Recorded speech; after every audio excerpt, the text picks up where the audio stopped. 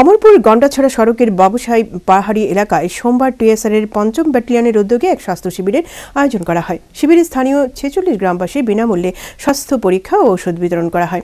শিবিরে টিএসআর এর পঞ্চম ব্যাটালিয়নের commandant H S Darlong, assistant commandant Rajib Nag Ambinagar থানার এসডিপিও রাজু রিয়াং সহ অন্যান্য আধিকারিকরা উপস্থিত ছিলেন। এই স্বাস্থ্য শিবিরে উপস্থিত ছোট ছোট ছেলে মেয়েদের শিক্ষা সামগ্রীও বিতরণ করা হয়।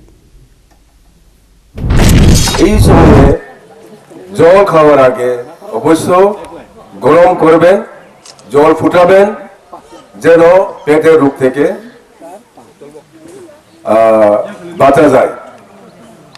আর দ্বিতীয়ত হলো, এই বৃষ্টির আরম্ভ হতেই আবার ম্যালেরিয়া। ম্যালেরিয়ার জন্য